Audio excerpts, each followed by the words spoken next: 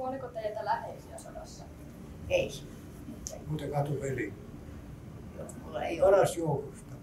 Olisi valmistunut vuoden päästä agronomiksi, mutta se jäi toteutumaan. Anteeksi, mä en kuulu. Kuoliko sinulta läheisiä sodassa?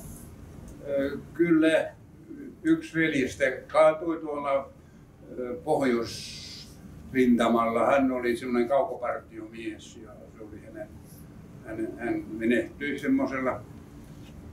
Ja niin, ei muita ei, kaatuneita ei ollut. Haavoittuneita kyllä. Yksi veljistä haavoittui, mutta toipui.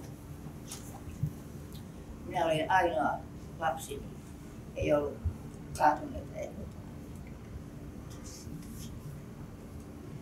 Vaikuttiko pelko kommunistien vallankaappauksesta teihin?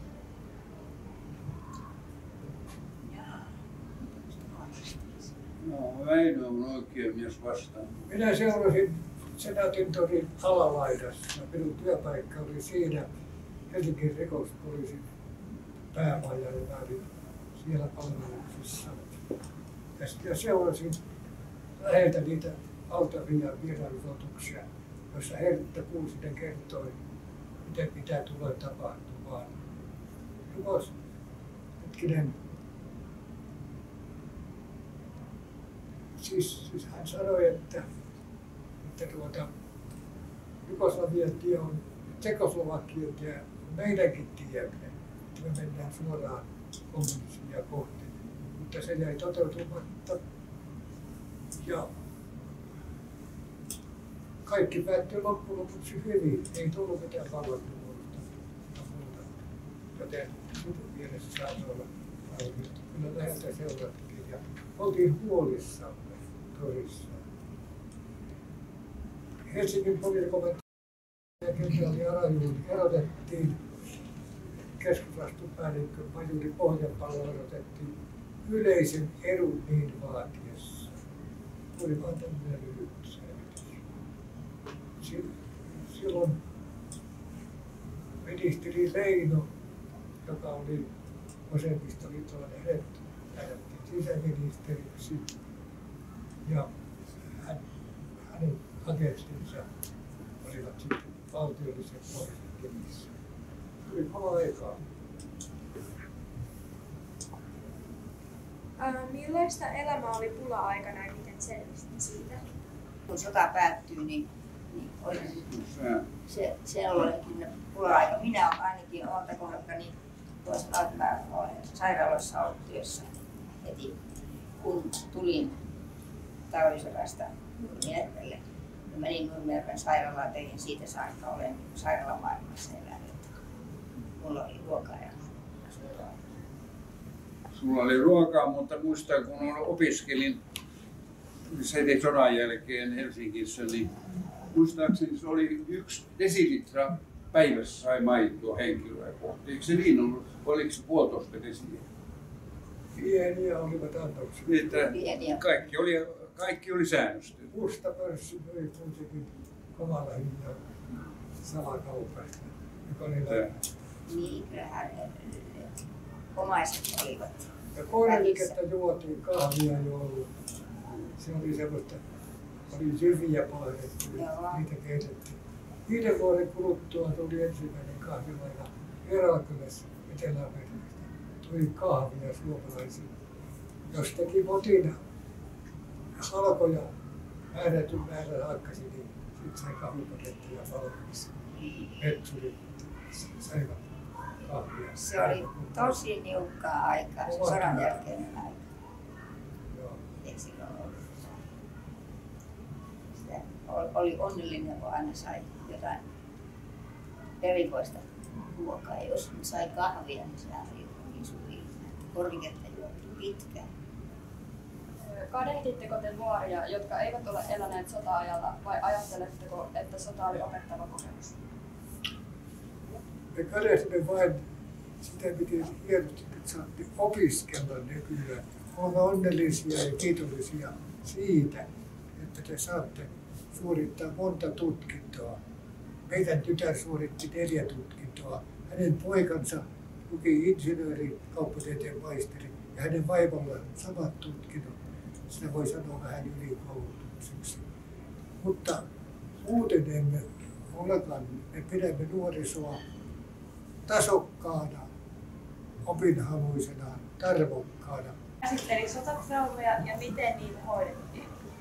Kyllähän niitä sotakokemuksia tietysti, mitä nyt itse kullakin oli, niin, niin kerrottiin sitten, jos joku kysyi ja sitä paitsi vähän kysymättäkin, niin esille, mitä, mitä meidän elämässä tapahtui. sodanteossa. No, minä sanon, että ainakin meidän perheessä ja siinä piirissä, jossa minä liikuin, niin sota-asioista ei puhuttu halastua sanaa. Siis toisin sanoen se oli semmoinen asia, joka me emme halunneet kertoa. Meille sanottiin, mitä te menitte sinne. Ei, ei paljon halunnut kertoa sitten, mitä, mitä sille tapahtui ja mitä sille näki ja mitä kuuli. Se oli Olimme hiljaa. Minä en esimerkiksi meidän perhe, tiedämme minun veljeni, jotka olivat myöskin siis verkkosodassa sitten mukana, paitsi yksi, joka ka- kaatui. Niin me emme tiedä toinen toistemme sotakokemusta oikeastaan yhtään Me ei, me emme kertoneet toinen toisemme yksinkertaisesti. Se oli semmoinen tarkoituksella pyyhimme muistista pois. Kyllä. Joo, se, on, se oli kyllä. jottei nähdä painajaisuuria ja sellaisia. Sitten vasta kun sotaveteraanin toiminta alkoi, me liityimme sinne, niin siellä, täälläkin Tapiolan palvelutalossa neljä, viisi ensimmäistä vuotta joka maanantai käytiin toista maailmansotaa niin uudestaan. Niin. Kokeneet miehet kertovat tästä taistelusta. Nyt ei kukaan enää puhu mitään, vaan kaikki ne luennoitset, mitä me kuuntelemme joka maanantai, ovat ajankohtaisista asioista, sairauksista, erittäin hyödyllistä tietoa. Me olemme kuunnelleet sitä yli 30 vuotta. Jotakin siitä on jäänyt kyllä varmaan päähän, päähänkin. Että ei me, ei me mitään sotaa ihannoida eikä muutella. Toivomme ainoastaan, että ei koskaan, että te ette joutuisi koskaan kokemaan samaa, mitä me olemme kokeneet. Se siitä.